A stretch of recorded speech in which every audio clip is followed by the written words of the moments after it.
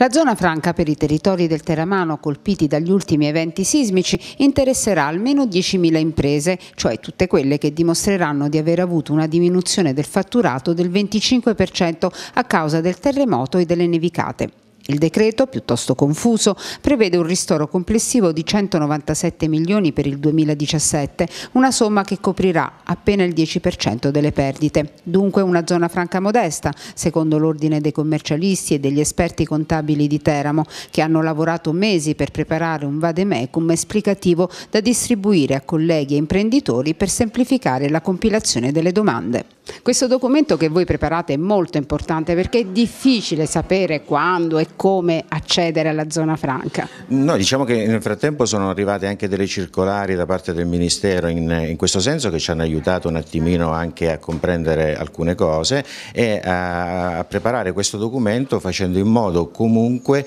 di eh, semplificare anche quello che è scritto nella circolare perché in pratica eh, abbiamo preparato nel documento una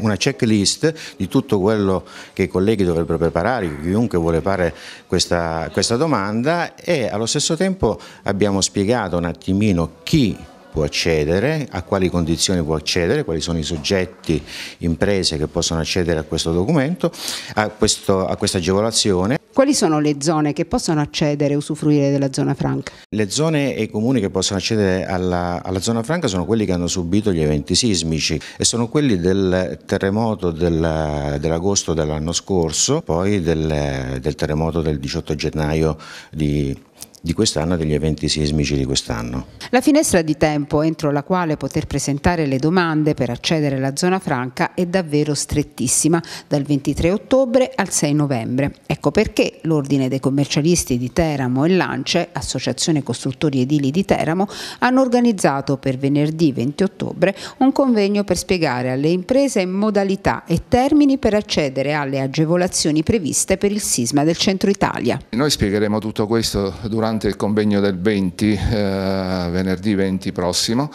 eh, che faremo unitamente all'ANCE, eh, nel, nel, quale convegno presenteremo un documento redatto proprio da una commissione interna al nostro ordine che ha lavorato in maniera molto eh, specifica ed attenta per la redazione di questo documento che verrà presentato unitamente alle relazioni della, di altri colleghi che vengono dallo studio Fantozzi.